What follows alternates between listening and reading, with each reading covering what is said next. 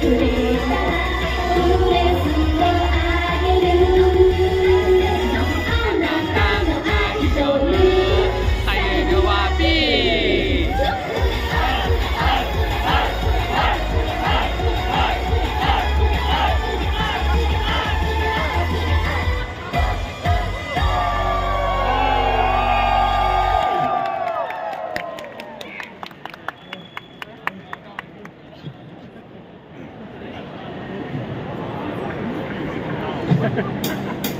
Ce qui